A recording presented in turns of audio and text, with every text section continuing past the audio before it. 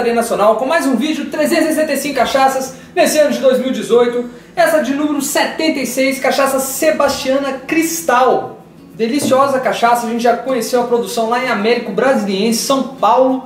Uh, 40% de teor alcoólico, não tem nenhum tipo, não passa por nenhum tipo de madeira, fica descansada ali em inox. E antes de falar sobre ela, já peço aqui para você deixar o seu gostei, deixar o seu like, compartilhar e também deixar o seu comentário para que a gente possa fazer essa série ainda melhor e espalhar cultura cachaceira para todo o Brasil e para todo mundo. Então vamos lá, cachaça Sebastiana Cristal, coloração totalmente cristalina, totalmente límpida, um ótimo corpo, ó, as lágrimas escorrendo aqui lentamente na, na parede da taça, o glicerol interagindo aqui maravilhosamente bem. Olha só que cachaça límpida e que cachaça cristalina e brilhante, né? Cachaça brilha demais. Já coloquei aqui há pouquíssimo tempo, já sinto o aroma de longe. Então a cachaça bem aromática de cana de açúcar. Doce, você já sente o doce de longe. Cana de açúcar bem presente, ó, bem perfumada. Um leve frutado, nada alcoólico. Cachaça nada alcoólica, aquela cachaça que você cheira, você não sente nada, acidez zero e o alcoólico zero também. Vamos lá. Já fiz aqui a minha ficha. Se você está acompanhando essa série desde já, tem um pessoal aí que já deve cansar de escutar, mas eu tenho que repetir porque muita gente nova vai assistir na série. Eu já fiz a avaliação sensorial dela. Essa aqui é a, é a ficha, ó. Ficha da avaliação sensorial. E a roda feita pela Aline Botoleto, lá da Exalc, de São Paulo, de aromas e uh, de aromas que você pode encontrar nas cachaças. Então, com isso, com base nisso, com base na minha biblioteca sensorial de aromas também, a gente vai chegando aqui a um, uma avaliação, uma ficha sensorial, tanto aromática quanto de sabores e sensações. Vamos lá.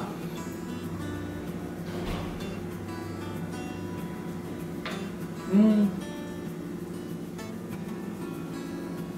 Pessoal, olha só, cachaça fresca, suave, doce, predominantemente doce, muito equilibrado, zero de acidez, baixíssima acidez, sensação, uma leve picânciazinha, mas logo ela fica veludada, recutinação perfeita, nada, né, super suave, é um retrogosto bem agradável, leve, olha só, um retrogosto de cana de açúcar, fica doce. A língua toda fica doce.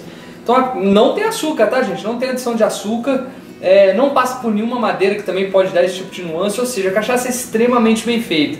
É uma cachaça fresca, suave, equilibrada, bem feito. O corte da cabeça da cauda aqui foi perfeito, você não sente nada de, de erro, então foi só realmente o coração aqui da cachaça que está aqui e a base da cachaça, cachaças envelhecidas e as bases das cachaças sebastianas que são excepcionais, eu vou chegar a fazer todas da linha deles lá, é, é essa aqui, então aquele produto final lá não poderia ser diferente, é, tão bom se essa aqui também realmente não fosse tão boa.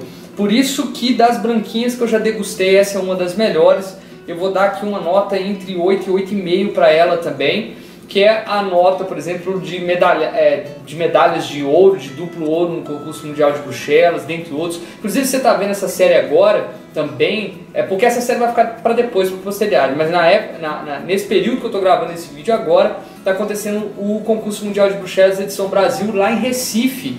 Então a gente está aqui na expectativa para saber quem é que vai receber essas medalhas de ouro, de prata, de bronze, é, quem vai ser o duplo ouro no concurso provavelmente um dos concursos mais respeitados e importantes de destilados do mundo.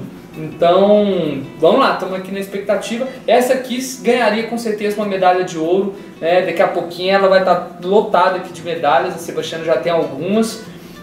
Essa aqui certamente, pelo menos na categoria branquinha, é uma que, me, é, que me, ganharia facilmente a medalha de ouro, tá? Então é esse mais uma degustação. Espero que você tenha gostado. Ó, Sebastiana, qualquer uma da linha super indico, super é, são cachaças extremamente bem feitas. A gente conheceu a produção, conhecemos a Adri, o Beto, fazem é, um trabalho incrível lá em América Brasiliense. E é isso, mais uma avaliação. Se você curtiu, mais uma vez peço aqui, aperta curtir, gostei, dá o like, deixa um comentário e vamos ajudar a espalhar a cultura cachaceira para todo o Brasil e para todo mundo. Valeu? Te vejo no próximo vídeo.